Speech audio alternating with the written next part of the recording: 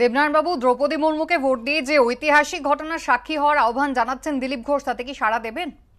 সে কথাটা একটু আগে তোমায় বলতে গিয়েছিলাম। It is time to fear when tyrants seem to kiss এটা ভয়ের সময় যখন স্বৈরাচারী চুম্বন করতে চায়। আসলে কি দ্রৌপদী মুর্মুকে করে করে কি আজকে সেই ট্রাইবদের কোনো উন্নয়ন করেছে কি? না এটা দেখা দেখি। এইটাকে একটা স্বৈরাচারী মনোভাব যে ভোটটা পাওয়ার জন্য বিজেপি ভোটটা পাওয়ার জন্য। স্বৈরাচারী মনোভাব বিজেপির। তরুণ জ্যোতি। আচ্ছা কয়েকদিন মমতা বন্দ্যোপাধ্যায় বলেছেন, আগে জানলে আমরা দ্রৌপদী মুর্মুকেই সমর্থন করতাম। আসলে কি বলতো তৃণমূল নেত্রী কয়েকদিন আগে সেই নাচের একটা ভিডিও ভাইরাল হয়েছে, আপনারা দেখেছেন। আদিবাসী মহিলাদের নাচ করছেন, তাদের স্পর্শ না হয় পাশের জন গ্লাভস পরাতে হয়েছিল। এই হচ্ছে মমতা বন্দ্যোপাধ্যায়ের আদিবাসী প্রেম, দলিত প্রেম। আজকে আশা করি তার প্রায়শ্চিত্ত করবেন। কারণ আমার দৃঢ় বিশ্বাস যে কটা দল এই রাজনীতি করে যে তারা দলিত প্রেমী দলিতদের কথা ভাবে?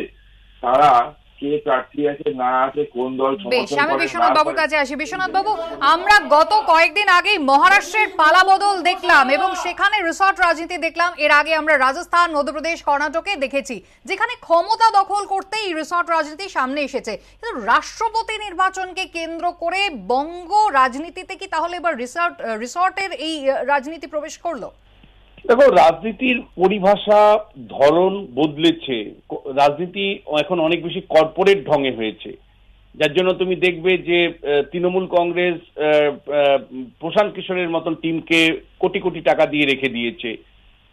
আজকে কর্পোরেট ঢঙে একসাথে যাতে সবাইকে নিয়ে আসা যায়, সেরকম পাঁচতারা হোটেলের ব্যয় বহন করছে বিজেপি।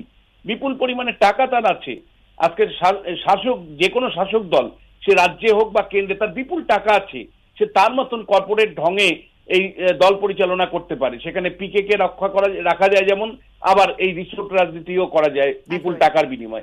যে বিষয়টা গুরুত্বপূর্ণ আমরা যারা পশ্চিমবাংলাবাসী আমাদের আগ্রহ এই নির্বাচনকে কেন্দ্র করে এই কারণেই যে এখানে অনেককে দল বদল করেছে সম্প্রতি। হুম। বিজেপি থেকে তৃণমূলে গেছে। এখন বিজেপির মোট বিধায়কের সংখ্যা সত্তর।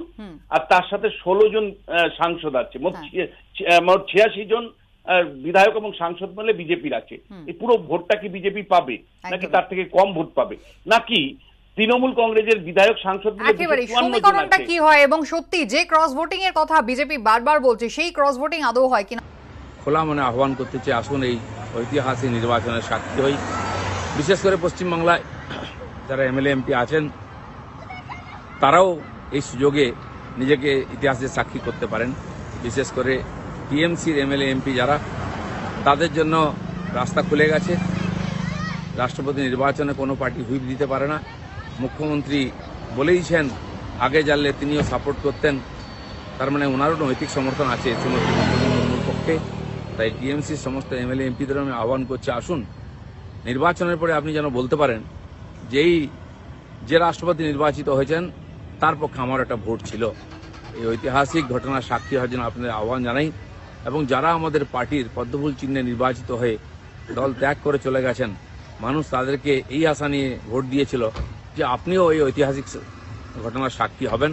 তো আপনি আপনার সেই ভুলের প্রায়শ্চিত্ত করার সুযোগ পাচ্ছেন। আপনি আসুন, দ্রৌপদী মুর্মুকে ভোট দিয়ে এই ঐতিহাসিক ক্ষণের সাক্ষী হয়ে নিজেকে সৌভাগ্যবান বলে মনে করুন।